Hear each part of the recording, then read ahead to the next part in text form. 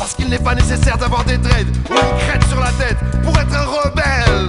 Ah, quoi tu trouves VIP? C'est le fait, c'est le fait, c'est le fait, c'est le fait. Grave, t'es vraiment VIP. Tu le sais, tu le sais, tu le sais, tu le sais.